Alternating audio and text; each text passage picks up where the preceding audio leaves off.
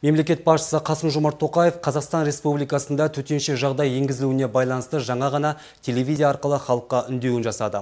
Бұл уақытша дүрбелең, осы дағдарыстан аман есен шығуымыз тиіс, тәртіпке бағынуымыз керек деді республика президенті. Қасым Жомарт Тоқаев өз үндеуінде үлкен күрделі ахуалды бастаған бастан өткерудеміз. Дүние жүзін коронавирустың таралуы алаңдатып отыр. Бұл індет күннен күнге ушығып барады. Өкінішке қарай осы дерт біздің елімізде де біздің елімізде де тіркелді кешегі жарлығымен бүгін таңғы сағат 8-ден бастап Қазақстан аумағында төтенше жағдай енгізілген. Төтенше жағдай режимі 30 тәулікке созылады. Президент жанынан мемлекеттік комиссия құрылды. Оны премьер-министр басқарады. Барлық қажетті алдын алу шаралары жүзеге асырылады. Қоғамдық тәртіп қатаң бақылауға алынады.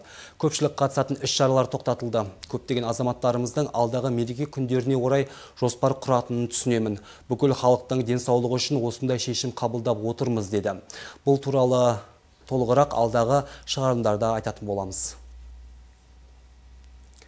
Бүгін елімізде таңғы сағат 8-ден бастап төтенше жағдай енгізілді. Азаматтардың өмірі мен денсаулығын қорғау мақсатындағы шара 15 сәуірге дейін жалғасады. Бұл аралықта республика бойынша белгілі бір тәртіп орнап, бірқатар шектеулер қойылады. Дүниежүзілік денсаулық сақтау ұйымының жаңа COVID-19 коронавирусын пандемия деп жариялауына байланысты қауіпсіздік шаралары күшейтілді мемлекет басшысы төтенше жағдай кезеңінде нақты шараларға қатысты тапсырма беріп уақытша шектеулер енгізді. Атап айтқанда қоғамдық тәртіптің сақталуы аса маңызды мемлекеттік және стратегиялық ерекше режимдік режимдік және ерекше қорғалатын объектілердің сондай ақ халықтың тыныс тіршілігі және көлік қызметінің жұмыс істеуін қамтамасыз ететін объектілердің күзетілуі күшейтілсін.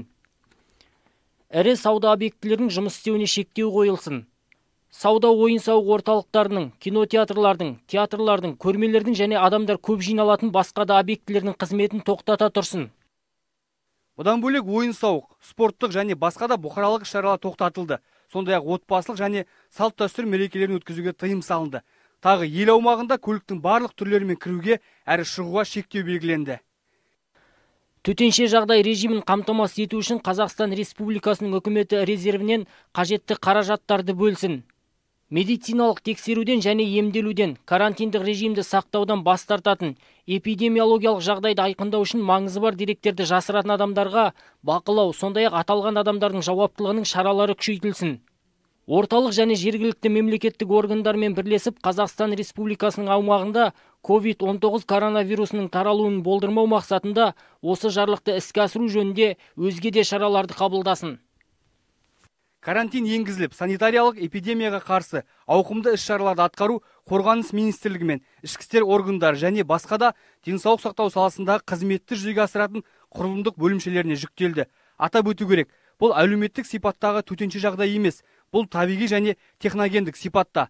Сондықтан комендатура енгізілмейді. Бірақ төтенше жағдай тәртібін бұзғандар жазаға тартылады. Жоғарыдағы шектеу тізімін елемегендерге он айлық есептік көрсеткіш негізінде ескерту немесе 15 тәулікке әкімшілік қамауға алынады. Егер режимді сақтамау салдары ауыр болса қылмыстық жауапкершілік көзделген. Бұл аралықта жиындар мен митингтерге де тыйым салынады.